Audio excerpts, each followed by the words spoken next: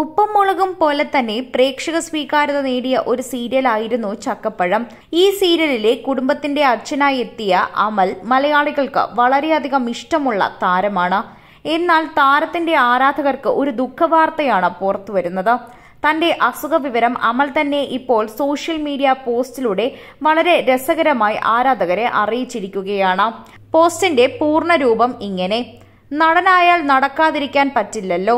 നല്ല ചുമ തൊണ്ടയിൽ ഇൻഫെക്ഷനുമായിട്ടുണ്ട് പക്ഷേ പനിയില്ല ചെറിയ കുളിരുണ്ട് പിന്നെ കോവിഡാനന്തര ശ്വാസം മുട്ടലുമുണ്ട് കമ്പിളിപ്പുതപ്പ് വലിച്ചുമൂടി പുതച്ചുറങ്ങാനാണ് തോന്നുന്നത്. പക്ഷേ ചില ഡ്യൂട്ടികൾ ഒഴിയാൻ പറ്റില്ലല്ലോ. ഒരു ഡബ്ബിംഗ് ഉണ്ട്.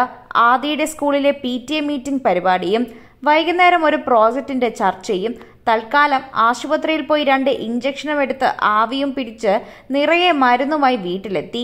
എന്നാൽ ഇവിടെ റെസ്റ്റ് അല്ല അറസ്റ്റില്ല. പേടിക്കണ്ട റെസ്റ്റ് എടുക്കാനായി ഭാര്യയുടെ പണിയാണ് പിടിച്ച മുറിയിൽ പൂട്ടിയിട്ടു. രണ്ട് ദിവസം മുന്നേ ഒരു ഹസ്തചിത്രത്തിൽ ഷൂട്ടിങ്ങിനുണ്ടായിരുന്നു.